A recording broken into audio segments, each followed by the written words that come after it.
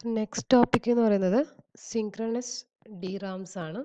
അപ്പോൾ synchronous D rams നമുക്ക് അതിന്റെ പ്രത്യേകത പേരിൽ തന്നെയുണ്ട്. സിങ്ക്രണസ് ആണെങ്കിൽ വിത്തൗട്ട് ക്ലോക്ക് ആയിരിക്കും. സിങ്ക്രണസ് ആണെങ്കിൽ ക്ലോക്ക് സിഗ്നൽ പ്രൊവൈഡ് ചെയ്തിട്ടുണ്ടാകും അതാണ് മെയിനായിട്ട് സിൻക്രണസ് ഡി റാമിന്റെ അകത്ത് വരുന്ന പോയിന്റ് എന്ന് പറയുന്നത്. ദെൻ അതുപോലെ തന്നെ the cell array is same as S റാമിന്റെയും D റാമിന്റെയും അറേസ് ഒക്കെ സെയിം റെപ്രസെന്റേഷൻ തന്നെയാണ് വരുന്നത്.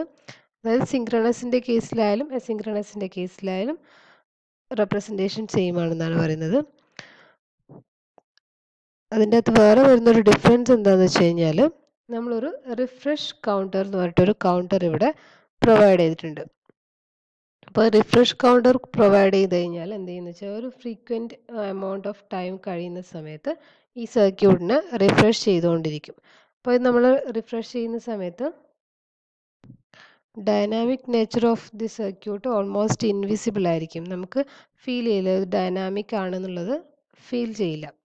അതുപോലെ തന്നെ the address and data connection of the S T RAM may be buffered by means of registers ഇത് ഇവിടെ കാണിച്ചിട്ടുണ്ട് ഡാറ്റേനെ എന്ത് ചെയ്യുന്നുണ്ട്?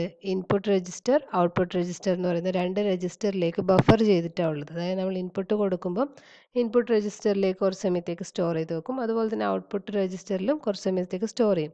നമ്മൾ ഔട്ട്പുട്ട് ഡിവൈസോ അല്ലെങ്കിൽ ഇൻപുട്ട് ഡിവൈസോ ബിസി ആവുന്ന സമയത്താണെങ്കിൽ നമുക്ക് എന്ത് ചെയ്യാം? ഇൻപുട്ട് ചെയ്യുന്നത് നമ്മൾ പ്രൊസസ്സർ ബിസി ആണെങ്കിൽ ഇൻപുട്ട് ചെയ്ത ഡാറ്റ കുറച്ച് സമയത്തേക്ക് നമുക്ക് അവിടെ സ്റ്റോർ ചെയ്ത് വെക്കാം.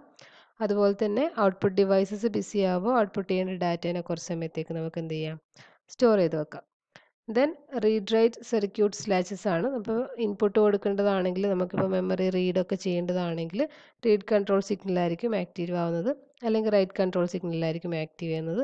സെല്ലറി എന്ന് പറയുന്നത് നിങ്ങളുടെ റീഡ് ചെയ്ത ഡാറ്റയും അല്ലെങ്കിൽ റൈറ്റ് ചെയ്ത ഡാറ്റയൊക്കെ സ്റ്റോർ ചെയ്യാൻ വേണ്ടിയിട്ട് യൂസ് ചെയ്യുന്നതാണ് സെല്ലറി എന്ന് പറയുന്നത്. പിന്നെ കോളം ഡീകോഡറും അതുപോലെ തന്നെ റോയും നമ്മൾ നേരത്തെ കണ്ടതാണ്. നിങ്ങളുടെ കോളം എന്ന് പറയുന്നത് പിന്നെ വേർഡ് ലൈൻസിനെ സെലക്ട് ചെയ്യാൻ വേണ്ടിയിട്ടുള്ളതാണ്. റോ അഡ്രസ്സ് എന്ന് പറയുന്നത് നിങ്ങളുടെ മെമ്മറി അഡ്രസ്സ് സെലക്ട് ചെയ്യാൻ വേണ്ടി യൂസ് ചെയ്യുന്നതാണ്. അപ്പോൾ അതിന്റെ രണ്ടിനും കറസ്പോണ്ടിങ് ആയിട്ടുള്ള ഡീകോഡേഴ്സ് ഉണ്ട്. ദെൻ ഇവിടെ നോക്കുക നിങ്ങളെ റോ അഡ്രസ്സ് സെലക്ട് ചെയ്യാനും കോളം അഡ്രസ്സ് സെലക്ട് ചെയ്യാനും യൂസ് ചെയ്യുന്ന ലൈൻസാണ് ആർ എ എസ് അതുപോലെ തന്നെ C A S. R bar W എന്നുള്ള ആർ ഡബ്ല്യു ബാർ എന്ന് പറയുന്നത് read or write control signals ആണ്. സി എസ് ബാർ എന്ന് പറയുന്നത് ചിപ്പ് സെലക്റ്റിന് വേണ്ടി യൂസ് ചെയ്യുന്ന കൺട്രോൾ സിഗ്നൽ ആണ്. ഫിഗറിൽ കാണിക്കുന്ന സിങ്ക്രണസ് ഡിറാമിന്റെ ഒരു റീഡ് സൈക്കിളിന്റെ ടൈമിംഗ് സിഗ്നലാണ് അതിന്റെ അകത്തുള്ളത് ക്ലോക്ക് സിഗ്നൽ ഉണ്ട് read or write control signal ഉണ്ട്. അപ്പോൾ ഹൈ ആണെങ്കിൽ ഹൈ സിഗ്നൽ ആണെങ്കിൽ റീഡ് ആണ് ലോ സിഗ്നൽ ആണ് വരുന്നതെങ്കിൽ റൈറ്റ് കൺട്രോൾ സിഗ്നൽ ആയിരിക്കും വരിക. Then R A S active low എന്ന് പറയുന്നത് എന്താ റോ അഡ്രസ് സെലക്ട് ചെയ്തെന്നാണ് അതുപോലെ തന്നെ C A S active low എന്ന് പറയുന്നത് കോളം അഡ്രസ് സെലക്ട് ചെയ്യുന്നുള്ളതാണ്. ദെൻ അഡ്രസ് ലൈൻ ആണ് ഏതാണോ സെലക്ട് ചെയ്തിട്ടുള്ളത് അതിന് കറസ്പോണ്ടിങ് ആയിട്ടുള്ള അഡ്രസ്സ് പ്ലേസ് ചെയ്യും. ദെൻ ഡാറ്റ ലൈൻ എന്ന് പറയുന്നത് ഏതാണ് ഡാറ്റ എന്നുള്ളത് കറസ്പോണ്ടിങ് ഡാറ്റാസ് ഇവിടെ നമ്മൾ ഫോർ ലെങ്ത് ആണ് കൊടുത്തിരിക്കുന്നത്. അതുകൊണ്ടാണ് D zero D one D two D three എന്ന് പറഞ്ഞിട്ടുള്ള ഫോർ ലെങ്ത് ഉള്ള ഡാറ്റയാണ് ഇവിടെ പ്ലേസ് ചെയ്തിട്ടുള്ളത്. അപ്പോൾ ഇതിന്റെ കറസ്പോണ്ടിങ് സിഗ്നൽസ് നമുക്ക് നോക്കാം. The timing diagram shows a timing diagram for a typical burst read of length 4.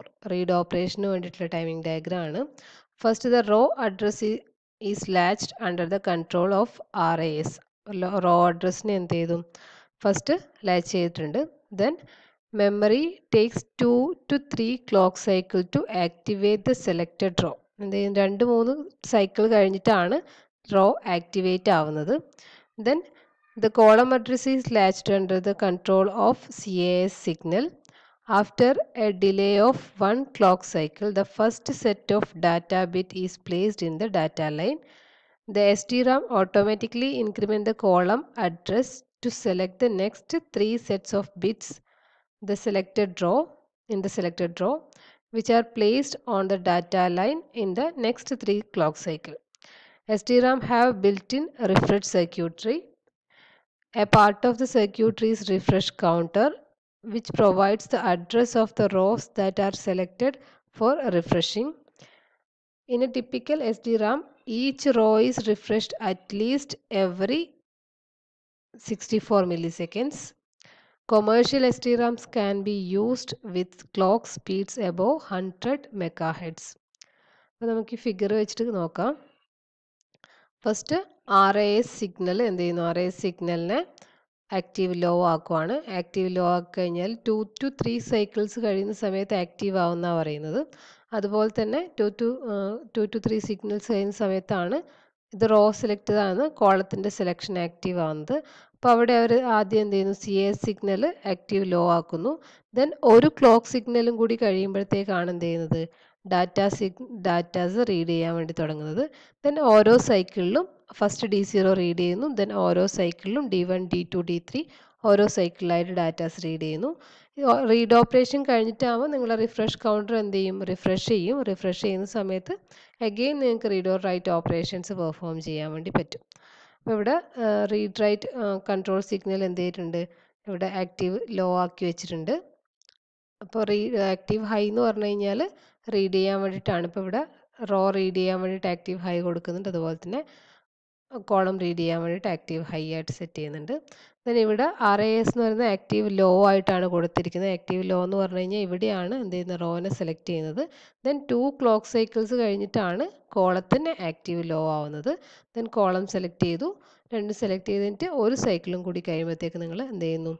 Datas read ചെയ്യുന്നു. ഇതാണ് സിങ്ക്രണസ് ഡിറാമിന്റെ ടൈമിംഗ് സൈക്കിൾ അതായത് ക്ലോക്ക് സിഗ്നൽസ് വെച്ചിട്ടുള്ള അതിന്റെ റീഡ് ഓപ്പറേഷന്റെ ഇതാണ്. Four length വരുന്നതുകൊണ്ടാണ് four D zero D one D two D three എന്ന് പറയുന്നത് മാത്രം വന്നിരിക്കുന്നത്. അപ്പോൾ ഓക്കെ അല്ലേ? ഇത്ര വരെയുള്ളത്